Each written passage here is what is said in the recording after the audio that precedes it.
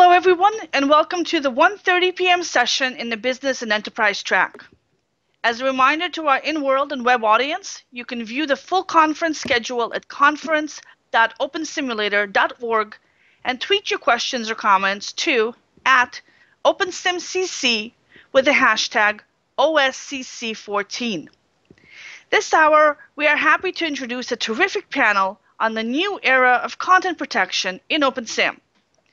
Our panelists include Myron Curtis, who has been involved with the evolution of digital technology for many years.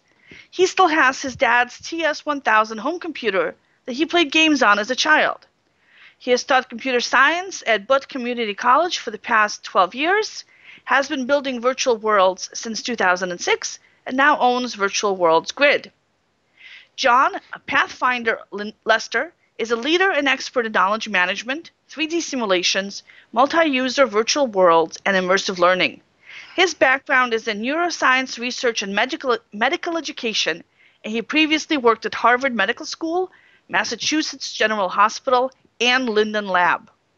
John is currently the Chief Learning Officer at Reaction Grid, and he's also the community developer and creative advisor at Wiggle Planet, helping create free range, self animated artificial life at the intersection of augmented reality and the physical world.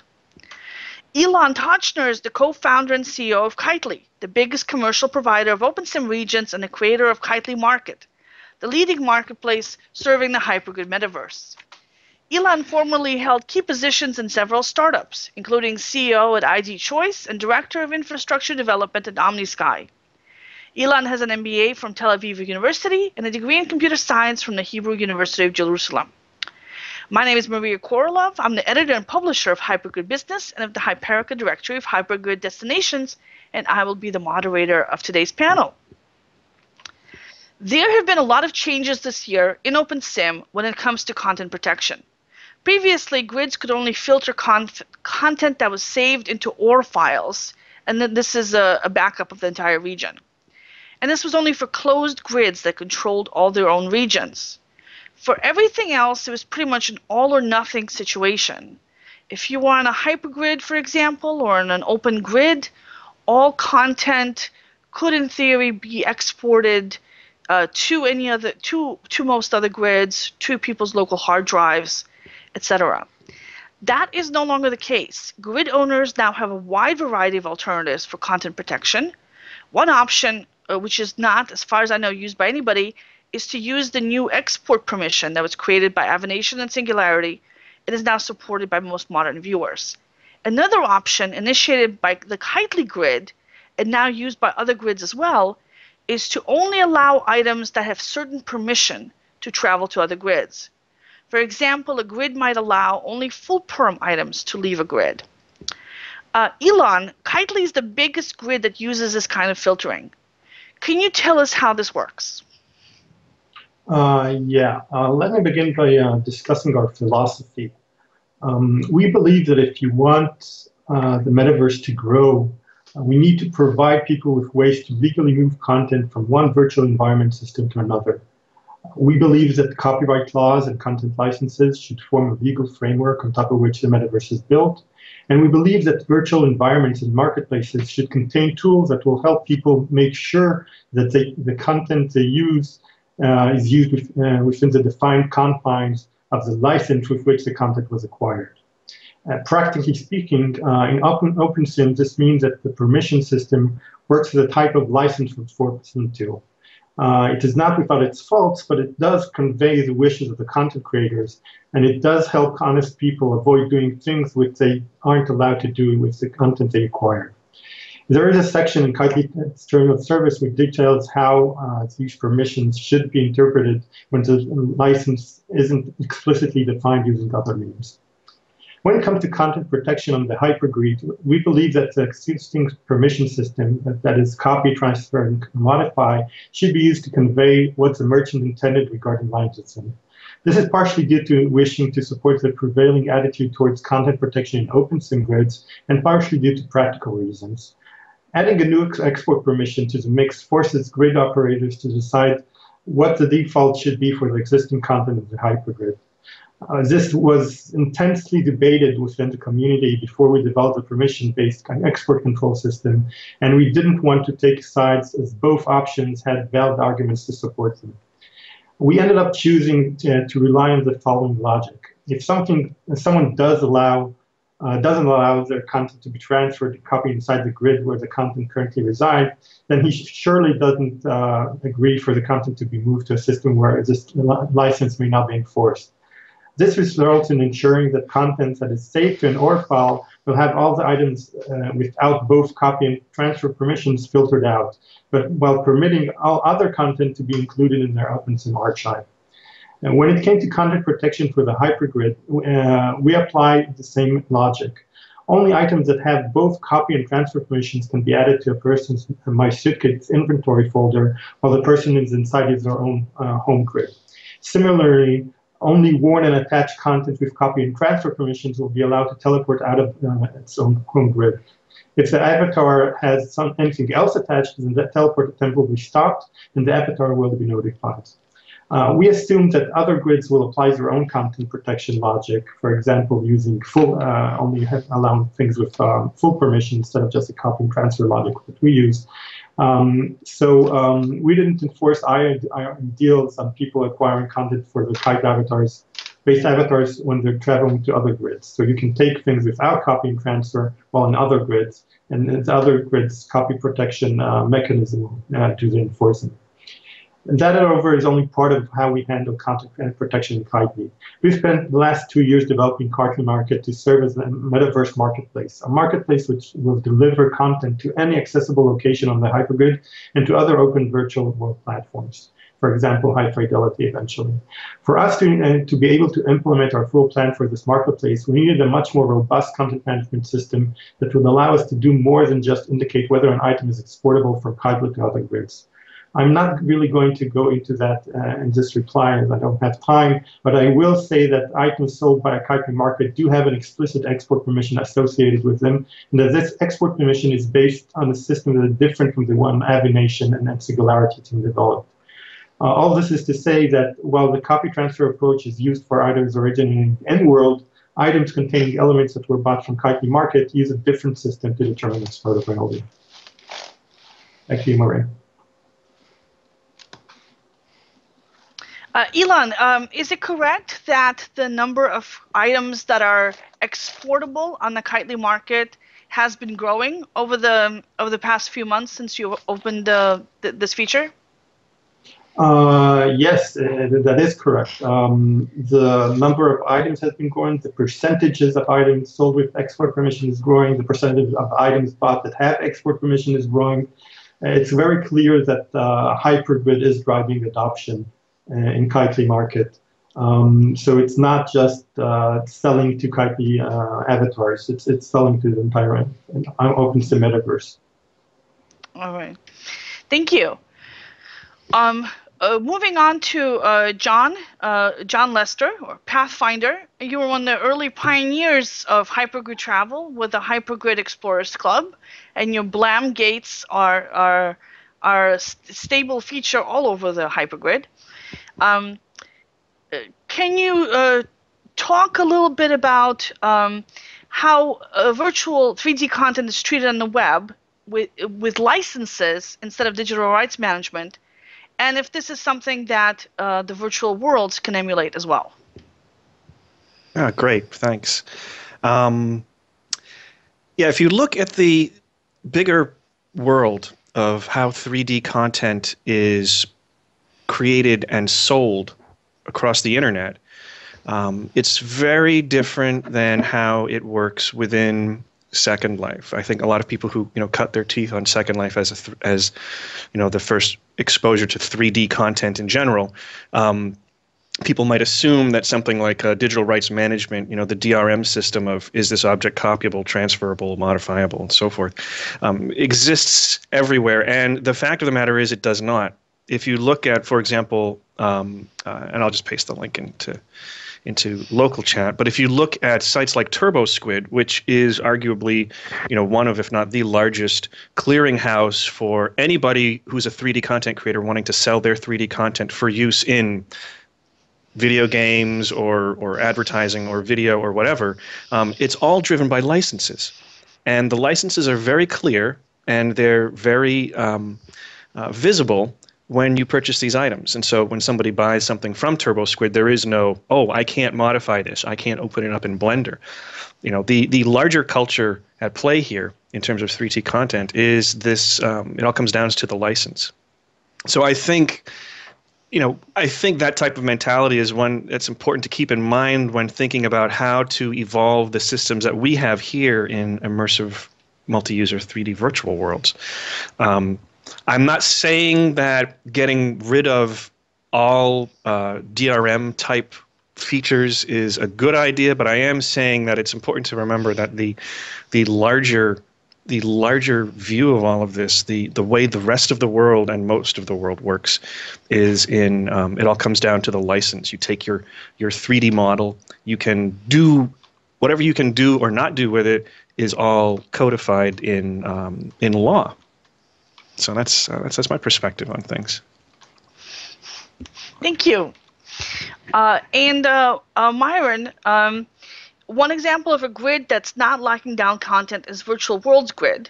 Virtual Worlds Grid is the largest OpenSim grid by land area, with the equivalent of almost 20,000 regions. Myron, can you talk about your grid's philosophy about content protection? Yeah, I'm going to play uh, devil's advocate here and um, basically ask if really if we should be involved in this at all. Um, we don't have the ownership of any of these products that people are building. We can't guarantee that they themselves are in um, compliance with somebody else's copyright laws. A lot of our textures are harvested from the internet, and those uh, all have copyrights attached to them that we may not be aware of. And uh, as a grid owner, I can go in and I can actually alter a database and change the creator name and the date that it was created on an object and say it's mine. And the only way anybody's going to be able to uh, to prove otherwise would be to require a forensic analysis of my hard drive using bit streaming. It's very expensive, very time consuming, and very difficult to do properly. So, um, my philosophy is basically that the copyrights belong to the people who are building these things. If I'm somebody sues me, of course I'm going to remove it. But um, I've even had things of my own in Second Life that people try to claim were theirs. Uh, especially a picture that I took of my wife and my granddaughter splashing around in a mud puddle and turned into a meme. And I was able to prove that no, it was mine. But um, this is going to be an issue that's going to cause us a lot of heartache. And if uh, we uh, let ourselves get pulled down this path, uh, we may actually be building a time bomb that's going to destroy our ability to actually grow because the legal system doesn't really understand what we're building. And if you do get sued, unfortunately, it's not necessarily in your legal department's best interest to win the case for you because if you win, everybody goes home.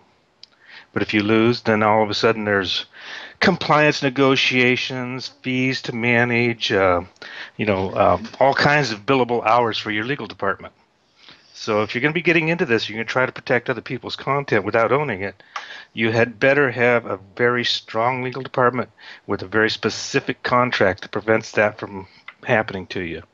Um, let's see, I lost my path here. okay. let's see. The other thing I'm is, I right really here, don't man. have the time. Oh, yeah, I know. Sorry. I'm sorry. Dang, that's all right.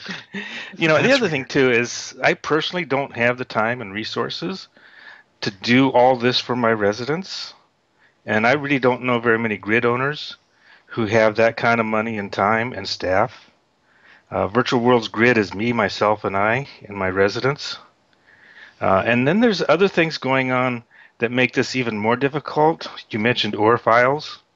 Uh, if you take an OAR file using 8.01, I think it is, the OpenSim version, and you load it up in a grid where the creator doesn't exist, it automatically ascribes the creator to whoever loaded it up. So that's broken again. We don't have control over those things. So um, as an industry, we may have to proactively work with the legal system and legislative systems throughout the world and try to way to ensure that we're not being, you know, um, taking down a path that's actually going to prevent us from growing. There, we're creating a whole new world in a lot of ways, and we're really going to have to have the world come along with us and help us make sure we can do it right. Uh, Myron, don't the safe harbor, harbor laws of the Digital Millennium Copyright Act address some of those concerns? They do. Uh, as you mentioned to me at one point in time, they're not necessarily free, but uh, they are a form of insurance that we probably do want everybody to look at. But at the same time, they're incomplete. There's a, for example, Creative Commons. A lot of people think that if they take something and change it by 20%, they're in compliance with Creative Commons. They can sell it whatever they want. And they really don't understand what that is. And they don't understand that Creative Commons only applies to certain groups and certain types of content and how it's distributed. So um, there's a lot of misconceptions out there that I don't have the resources or even the knowledge to um, to manage myself. So you know, I am I'm kind of thinking that this is probably a community project, but not necessarily um, the responsibility of each individual grid owner. Hmm. Uh, in the the general industry, such as uh, music industry or the movies, um, uh, Amazon and the iTunes stores, there seems to be a movement away from digital R- DRM of locking down these things, um, and uh, towards uh, more usability. So if somebody buys something, they can make a local copy of it, make a backup for themselves, or share with a friend. Because if they really wanted to, they could go out and illegally download it anyway by right. making it inexpensive and convenient and easier to use. Um, a DRM free free content is actually more competitive in the market. Um, uh, John, would you like to address that? Yeah, I mean that's something that um, Steve Jobs is famous for realizing really early on. That as soon as you know he started down the road of positioning Apple as a company to provide um, music content to people. He he realized very early on that you know the, the the horse is out of the barn. At best, DRM is is friction. It's never a barrier, and you know best it tries to keep honest people honest. But a lot of times it ends up adding more complexity to people trying to do legitimate things to things that they actually do own and have paid for. Um, so it's you know it's the trick is to make it much more compelling and easy for people to buy what they want that's how to win you know it's it's it's about creating an opportunity for people to pay content creators for things that they have value that have that have value for them. And and I think it's also really about allowing content creators to um, explore opportunities for uh, more business models than the you know the ancient stone age you know i have this goat skin will you trade me that piece of meat for this goat skin? And then there's a transaction of things back and forth. You know there's there are newer models for content creators like um, having people be parts be part of you know subscription services and getting different types of maybe early access to certain types of content that other people don't have.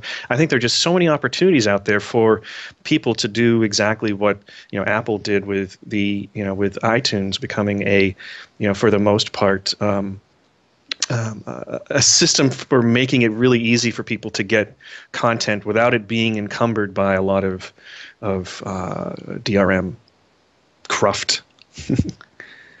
um, a few years ago, uh, when I first started writing about OpenSim, there was a widespread perception that it was a haven for copybotters. Uh, recently, I've noticed that uh, most of the uh, grids freebie stores are actually offering legal content from Linda Kellie, from OpenSim Creations, uh, from uh, and from their own local designers. Um, it is is OpenSim starting to take content uh, protection seriously? Is this something that you're seeing um, in the hypergrid as well? And if anyone wants to take uh, that. I'd, I'd like to jump on that first and just say um, the amount of, and I have to be totally honest, the amount of what's obviously ripped content, and I don't like the term copybot because copybot is only for people who understand the history of what's happened in Second Life, but it's very common for people to run software to rip 3D models from video games. There are entire multiple large websites dedicated to people ripping, you know, the latest models of, of, of different characters in different video games, and, and, and by models I mean not just characters, but also all the assets, the buildings, everything. And to be honest, I see a lot more of that in Second Life than I do in OpenSim anywhere across mm-hmm. the hypergrid that I explore.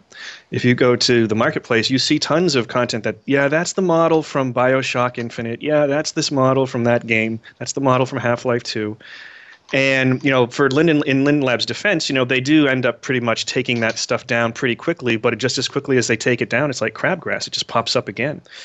Um, and overall, I would say across where I look at things across the hypergrid, um, you know, occasionally you'll see ripped content, but a lot of t- more, more, often than not, it's people who are are uh, are building things on their own, and um, or people who have had very clear intentions about how their content could expand beyond Second Life. So, for example, with um, um, uh, you know, some people who create content in Second Life and then say, "Oh, I'm going to upload it to OpenSim and I'm going to put a Creative Commons license on it." You know, like like um, uh, Arcadia Asylum.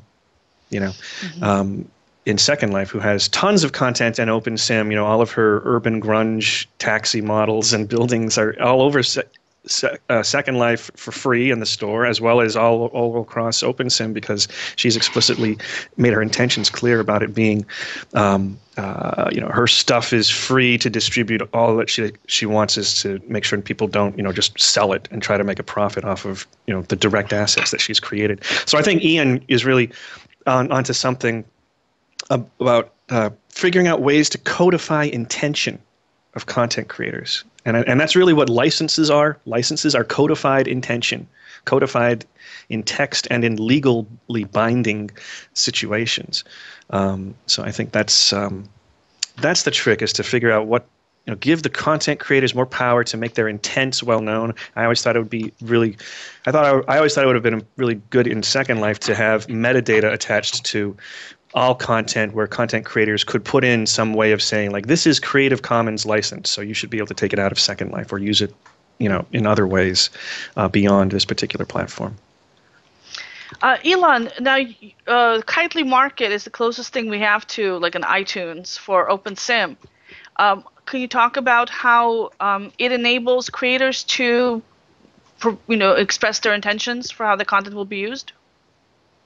Um, yes. So uh, in Kitely Market, um, as I mentioned in my uh, initial uh, reply, um, we have uh, explicit uh, export exportability uh, flag, um, which is quite different from the Avination's singularity. Um, um, I call it philosophy that the only things that are full permission should be exportable um, uh, the Invenzen ex- uh, explicitly.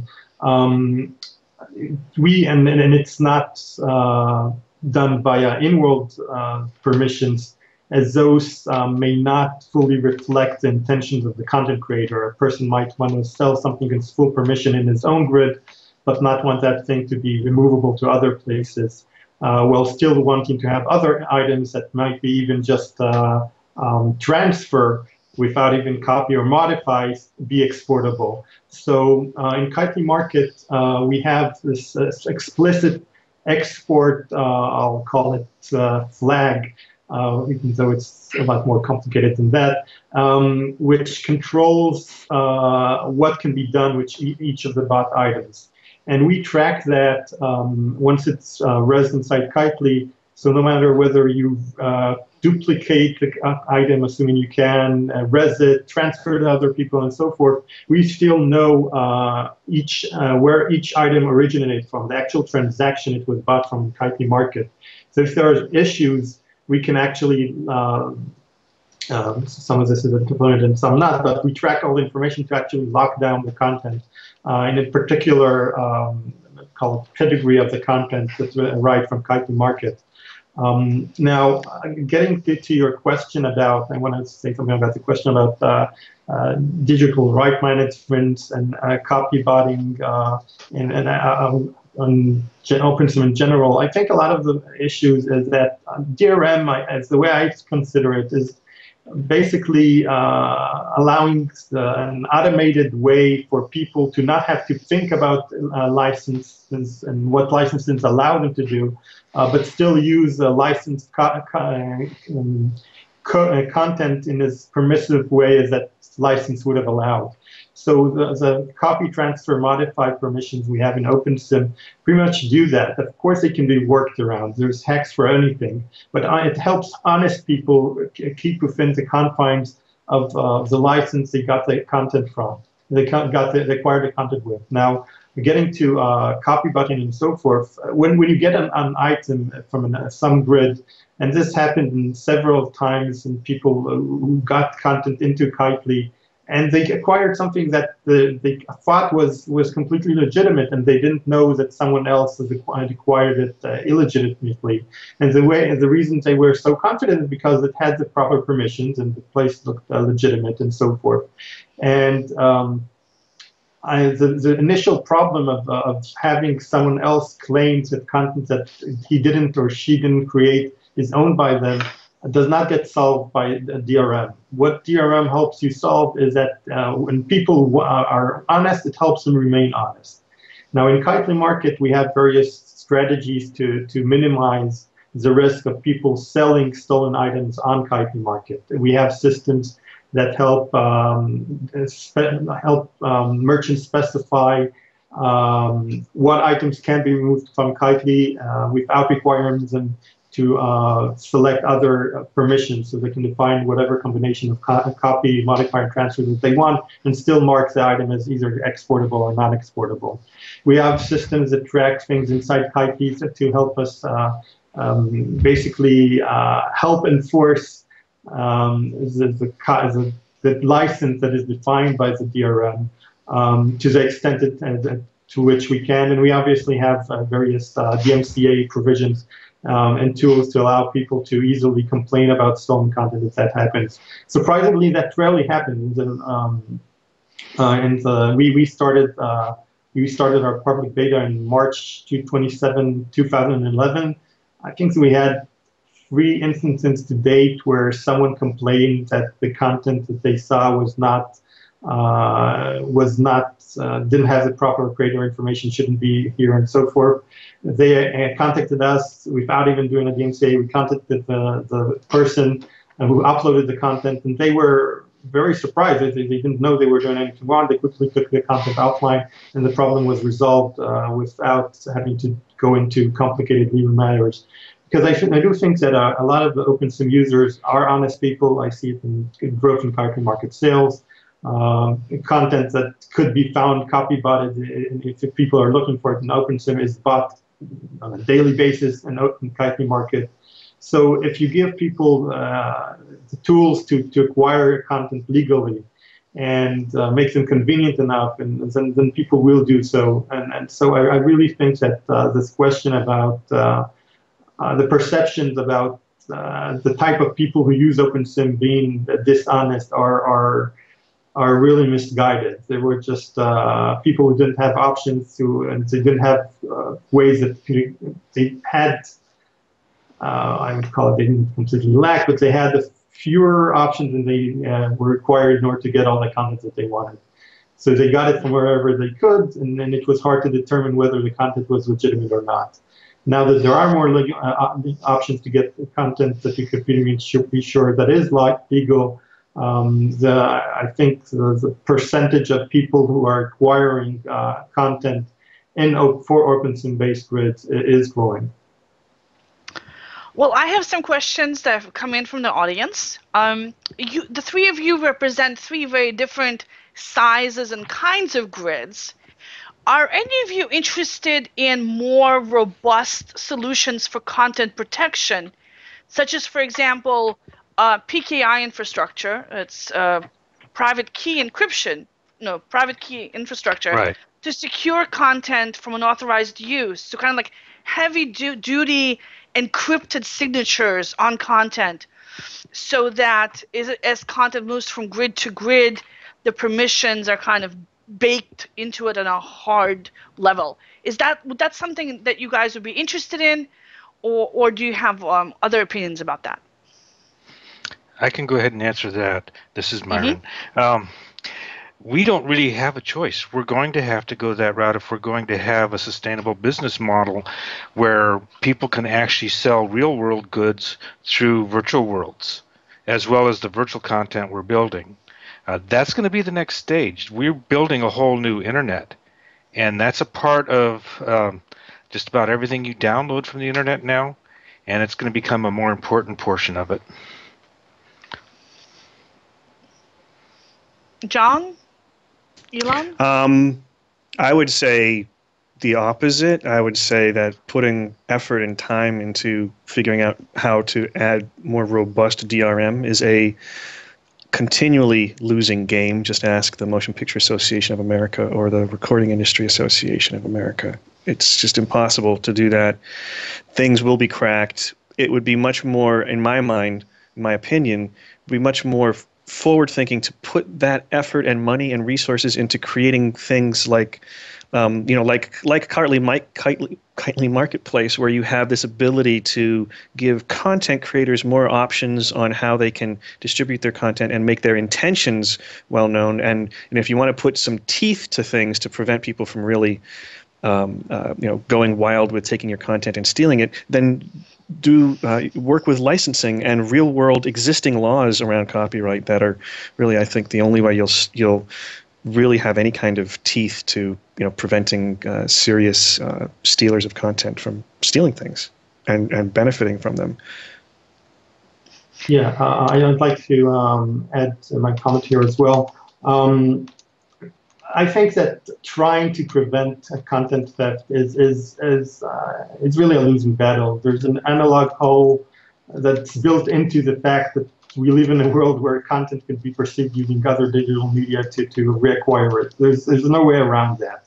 Um, you can't lock up people's eyes, and people have cameras everywhere. So it's, it's things can be captured or copybotted using the Second Life parlance. It's uh, with more or less ease. The, the thing that I think can be made uh, more convenient is allowing people who want to remain honest, give them the tools that will help them remain honest, as in looking at DRM not as a way to try to enforce um, the, the, the, the license in, uh, in the assumption that it's unbreakable because it won't be, but as a way that will help uh, people who are honest remain within the confines of the license that they acquired without having to constantly go and say, okay, this piece of what I want, can I do that with this piece and that piece? And that, becomes too much of a hassle. If the system can automate that, then it makes using content from various sources together in combination much more, um, much more realistic. And I think that is how, how the internet works when things and uh, um, you mesh up various websites to create better and, uh, and more um, services that couldn't exist otherwise. And that's the same thing that happens inside the virtual world with uh, 3D content or so and so forth. So, so I, I would like to see a cross-platform way to codify uh, licenses uh, something probably more um, a bit uh, with a bit more flexibility than the existing system we have in OpenSim, but that takes from the ideas that uh, that exist in the copy modify transfer system and add to them various things such as resale um, value and so forth, and something that allows you to um, basically automate that uh, could help, I think, uh, a lot of content creators uh, get content into the hands of consumers and otherwise have problems reaching. And this is really part of what we're aiming with Kitely. As I mentioned, the, the export flag is not so much of the flag as, a, the feature of the content control system that we built into Kitely Market. Uh, so it's, it's really part of our, our long-term vision doing that. Obviously, we're just at the beginning of, the, of this process, but that really is what we're aiming for. Um, Ilan, can you talk a little bit about um, your uh, plans beyond OpenSim? Um, one of one of our audience members is asking about uh, your plans for high fidelity, uh, Second Life, and other virtual platforms. Uh, and they also want to know if you're if you've considered supporting things like direct collada or or textures uh, sales or downloads that are not just OpenSim specific, but like more like uh, TurboSquid. Um, TurboSquid exists, and there are various other marketplaces like it. Um, the way we see uh, things moving forward, and again, I'm not, you know, if there's a business opportunity and it's big enough, we might pursue it. I'm not ruling anything out. But the way we see our, our vision is that uh, currently TurboSquid is very convenient for content creators. You go, you find the license, you research it, you combine it with other things, you can open it in Blender and, and 3D Max and so forth, uh, all great. Um, content creators are, are prosumers at best, professionals more likely. Um, they're, they're not consumers. As a consumer, you want to be able to go and when I click a shirt, have my avatar wear it wherever my avatar is on whatever system it is, whether it's OpenSim, High Fidelity, or any other system that we can integrate with. Um, and so if, in some systems that might look like an inventory, it's a folder-based inventories that we know from OpenSim Second Life. In other systems, it might look like a completely different user interface and, and, and items might be grouped completely differently, not in so much as an inventory folder structure as in the kind of a group. So you have your shirts and you have your pants and you have your so forth, and there's no, not a lot of flexibility in organizing items otherwise. And, and as a consumer, you just want to be able to go to a marketplace buy whatever you want and have it delivered, and not have to think about um, basically how the sausage is made. And when with Squid and other places where you download the content, you, you have to be kind of the, uh, well, you have to be the butcher because you're, you're going to be combining and cutting the content up, and you have to make sure that you're, you're remaining within the confines of the, of the, of the um, licensing that you acquired the content with, and you, and you have to then go and integrate it into various systems it might be as simple as just uploading into Unity uh, um, developer. Um, but it's it's but that that simple thing is is is is very hard for the great majority of people. Uh, for them to have, for a metaverse to exist, it has to be a simple, simple, simple process where external tools are, are, are not an issue. They don't have to think about file formats. They don't have to think about uh, the prim count, sorry, triangle counts and what uh, uh, material effects, I'm using Second Life terminology here, exist, are used, and, and, and they they just want to know that, uh, can I buy it for high fidelity? Checkbox, checkmark, yes, okay, buy, deliver, that's it. That's what I want. And that's how we're focusing, targeting um, Market to be this very simple to use, uh, integrated marketplace for the metaverse cross-platform, not specific to OpenSim. And, and answering uh, and uploading content into Kitely currently is done by uh, OpenSim, but there's uh, looking forward, you know, we, we there's eventually there'll be a, a browser-based viewer, and there are already uh, services online where you can upload Collada files and have them rendered in your viewers. There's no reason why we won't, we won't have uh, this type of functionality in the future. So it's it's really about giving the content creators the tools that they need, the most convenient for them to get the content into the marketplace, and providing uh, a, a marketplace experience that's the most convenient for the consumer so they can buy the content and just work in whatever virtual environments they're using. Um, Ilan, um, uh, OpenSim creations recently went down because of uh, technology, some technology issues. And uh, I've used OpenSim creations to distribute with content I've created that I wanted to give away for free. Is there any chance of Kitely stepping in and offering freebies on their marketplace so that if, say, I create a hypergate, I can put it up on Kitely for anyone to use and download? Um, okay, I'll, I'll, I'll, begin my, my answer with uh, uh, we, we may always uh, change, things may always change in the future, but the way we currently see it is that um, Kitely, uh, there, there's two aspects to this actually. Um, content, there's, there's, there's various types of content. There's content that anyone can create. Uh, you know, Instagram has shown that there's a lot of millions of people can take great photos, especially if they have good tools. Uh, so it's very hard to make money with photos now when you can get great, great photos for free in the public domain. Uh, so um, there's there's if you if you're trying to build a marketplace that sells photos, uh, you're going to have a harder and harder time doing that. Um, and there are other types of content. Like for example, currently 3D content, especially scripted, costs a lot of money to develop. It takes a lot of time, and it's it's, it's a rare ability to, to create something of value there. And um, the, those people should have a way to monetize and not have to compete for free. Uh, the problem with having freebies in the marketplace, in any marketplace, is it drives uh, costs, it drives prices down because eventually you'll get to the point where the free content is good enough for most people, and there that disincentivizes uh, the creation of additional good content by professionals, and that's that's a bad road to to, to walk down. Uh, just looking at Spotify and uh, and um, Taylor Swift's decision to take our albums off it. Uh, you can see that content creators, especially the ones that have no problem selling, the, more the, the ones that people want to get their content, do not like uh, competing with uh, free or almost free. Um, now, there are uh, various ways that you could get content uh, monetized that allows for freebies to exist in the marketplace. Uh, if you talked about subscription services where a person pays a certain amount of dollars per month and gets certain types of content included in that subscription where they can use or as much as they want.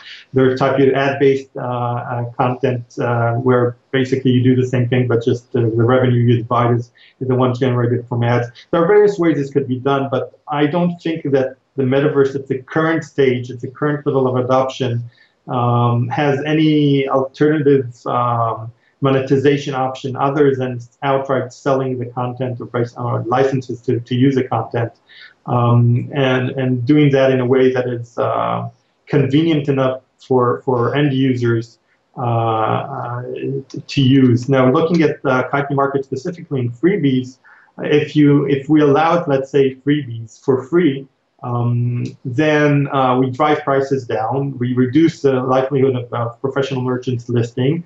We, we hurt our own uh, uh our own um, basically uh, uh, revenue stream, which helps us continue to develop Kitely Market. Um, and it doesn't really help so much users because freebie content can be found in many places.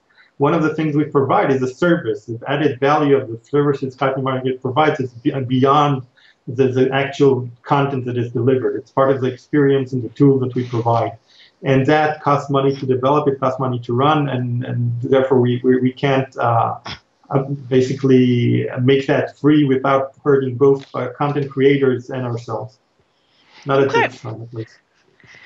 All right, we we have a couple of uh, uh, minutes left before we close up. Um, uh, John, do you have any closing remarks you'd like to make? Oh, um, if I, I try to think of how to sum it up like in a sentence, it's about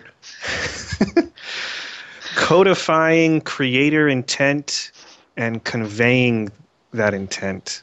I think that's what it's all about, and I think that's a lot of what um, Ilan is doing with Kitely is is about that. You know, being able to codify what content creators want to do with their stuff and convey that intention to the people who are buying content. I think that's that's the real use of of, of, of DRM technology in this case, in my opinion. Uh, Myron. Well, you know, pretty much to, to agree with everything that's been said so far. You know, nobody's wrong here. We're all right. It's just different viewpoints of the same elephant. We're like three blind men. We're each, uh, you know, describing our own side of the elephant. Um, I may have the rear end. I don't know, but uh, you know, uh, I do want to urge people to be con- conscientious. At the same time, I want them to be cautious about accepting responsibilities that they have no right or need to accept. Well, thank you everybody for a terrific presentation. And um, if you're looking to hear more from Ilan Tochner, he has the next session in this track, Kitely Market, the Metaverse Marketplace one year later at 2.30 p.m. As a reminder to our audience, you can see what's coming up on the conference schedule at conference.opensimulator.org. Thank you again to all our speakers and to our audience. We'll be back shortly with the next session. Thank you, Maria. Thank you, Maria. Thanks a lot.